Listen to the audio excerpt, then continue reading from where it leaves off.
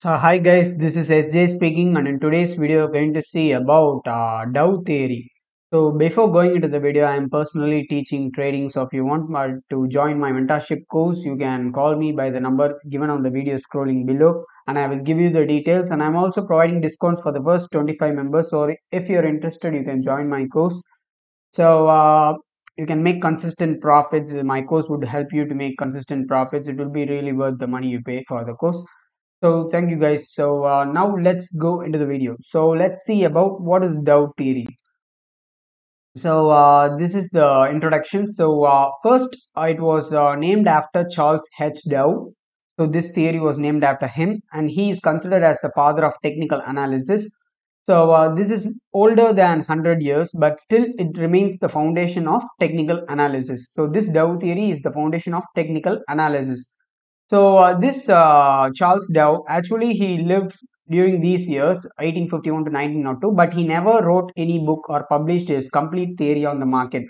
Uh, but several followers and associated uh, have uh, published his work based upon his theory. So his theory reflected his uh, the belief on its stock market behavior.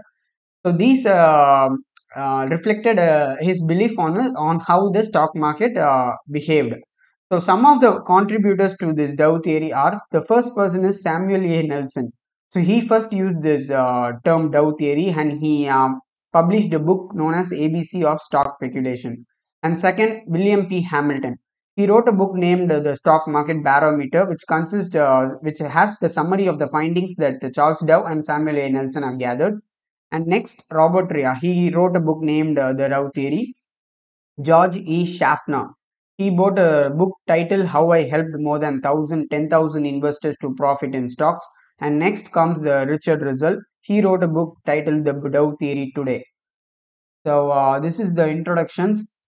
And then comes the principles. What the Dow theory suggests. So these are the principles of the stock market. Uh, sorry, uh, Dow theory. The first principle is that the stock market discounts all information then the second principle stock market have three trends. Third principle primary trend have three phases. Fourth principle stock market indexes must confirm each other. Fifth principle volume must confirm the trend. And sixth principle trend remains intact and until and otherwise uh, clear until another unless clear signals uh, reversal signals occur. So I will explain all these principles in uh, separately. So the first principle states that the stock market discounts all information. The meaning for this is simple. The first principle suggests that the stock price represents the sum total of hopes, fears, and expectations of all participants and discounts all the information that is known about the stock. So, uh, what uh, suppose if the company publishes a quarterly results, earnings results, this is this is get reflected in the stock price. Uh, likewise, uh, there are different participants. For example, some might trade based upon fundamentals, some might trade based upon news, some might trade based upon chart patterns, some might trade based upon uh, uh, because they are working in a company, they might buy the shares of the same company. So many there are different kinds. Some might even they know nothing about stock market, then they enter the market. They just gamble. Uh, if they win, they will win the money. If they lose, they will lose almost the entire amount. Like that, they gamble in the market so all these market participants, their hopes, their fears, all is reflected in the stock price. So this is what it denotes.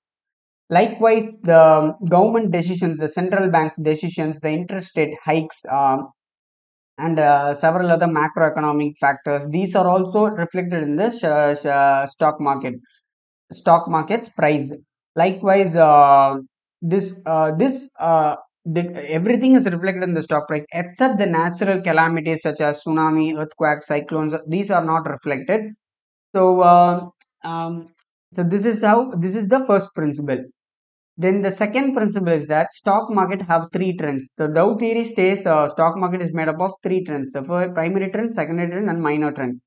So, what is the primary trend? I will explain it in the uh, live chart. So, wait. So, and also I missed one point in the first principle.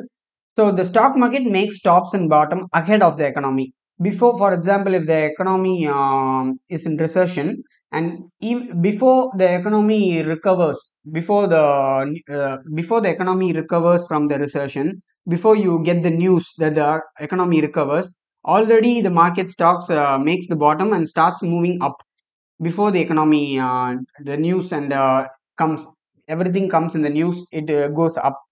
So likewise uh, before the any bad news comes in the news uh, the market already uh, hits the top and begins falling before itself on 3 to 4 months before itself it comes down. So this is what this states.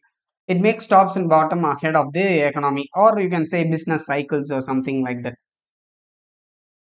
Um so these are the three trends i will show you uh, in the live chart so you can see the primary trend is here so this is the primary uptrend and this is the primary downtrend. So this is the direction that uh, the every trader. So you can hear that everyone would say trade with the trend. So this is what it denotes. You have to trade with the primary trend, whether it's uptrend or downtrend. So this lasts from one year to several years.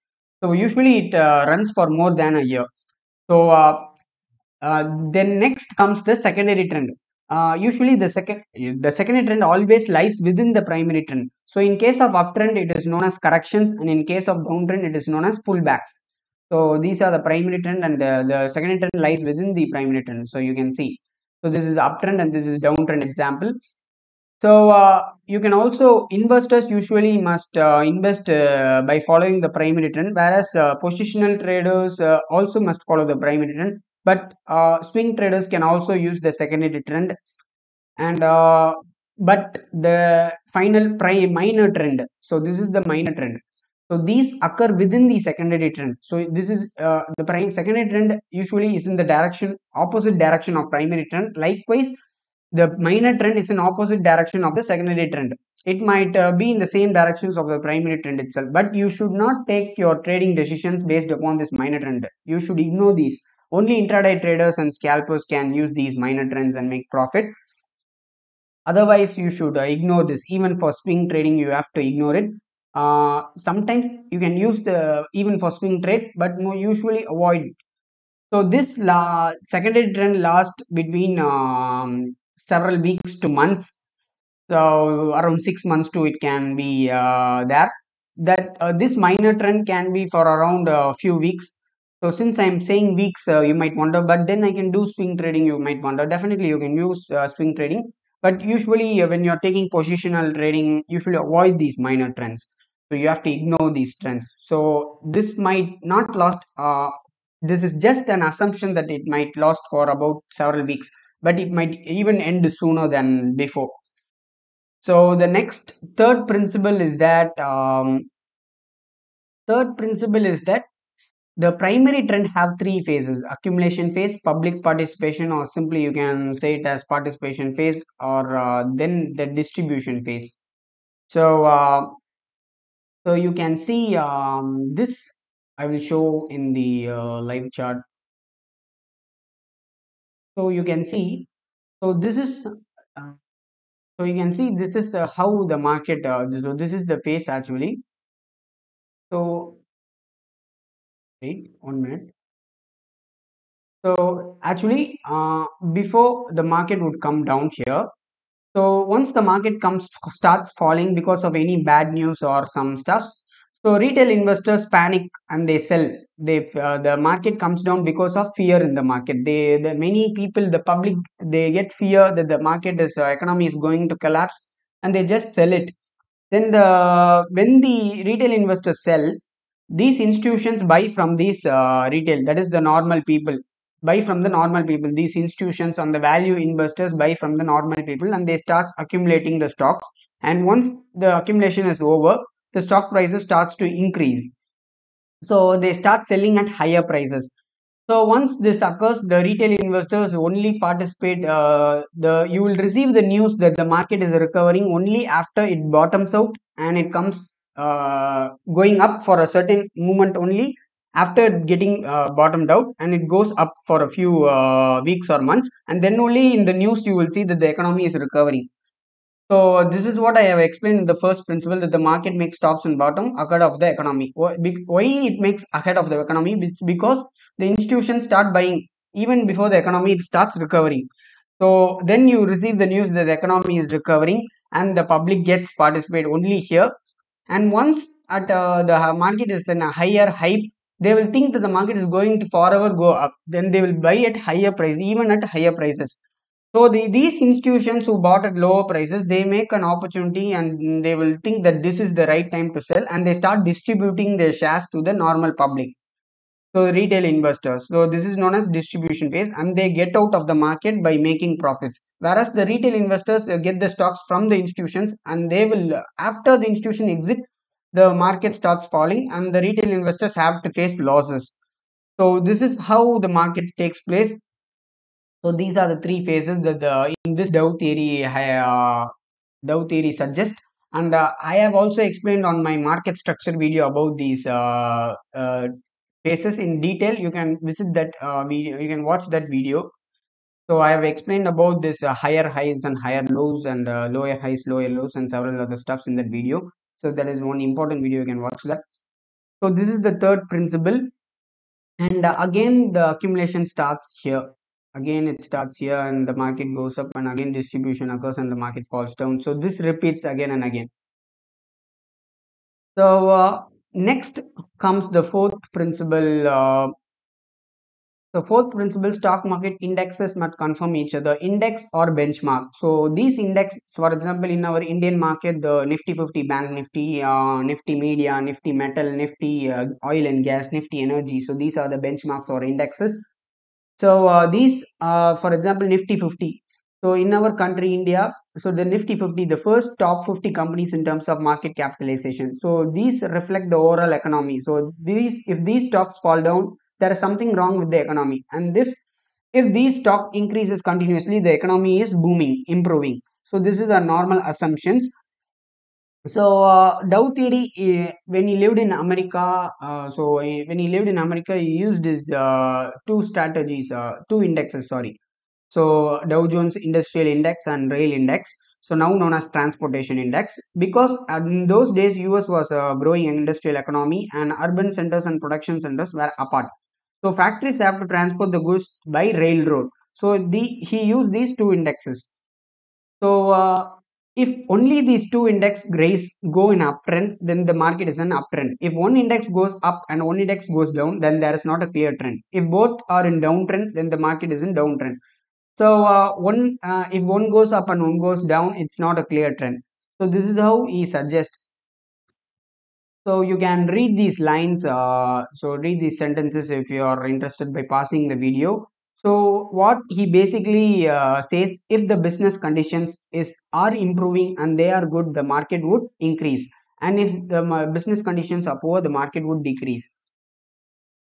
Next, fifth principle. This is simple. Uh, if the primary trend uh, goes, if the stock price goes up, the market is also increasing, then the trend is strong. Otherwise, uh, if the market price alone is increasing, the, volume is not increasing, the trend is weak. Likewise, uh, this is the same in case of downtrend. So this is uh, simple. Uh, you can see the volume should also increase along with the trend. So in case of buying, the buying volume should increase. In case of selling, the selling volume should increase. And the sixth principle, trend remains continuous, intact until and otherwise clear reversal signals occur. So what it says, uh, until you find any reversal uh, signals, you should uh, not get out of the market. You can hold your stock so uh, till the market uh, shows a reversal, strong reversal signal. So the next thing is that if you are willing, uh, the stock market is controlled by money, only one and one M, which is known as money. So if there is, uh, if the mini money is pumped on buying side, the stock market goes up. If many money is pumped on the selling side, the market goes down. So this is what whoever the if the buyers overall buyers have more money they win the market if the overall sellers have more money they uh, bring the market down so this is what he suggests and uh, these are the six principles so uh, though uh, it has some uh, drawbacks pros and cons. The pros are that this is the foundation. This leaded uh, this is only this Dow theory made the technical analysis popular. Before this uh, this theory ca- uh, came uh, the technical analysis wasn't that much popular. So this uh, made this paved the way for the market structure that is higher highs higher lows so that is why he is known as the father of technical analysis and Dow theory is known as the foundation of technical analysis.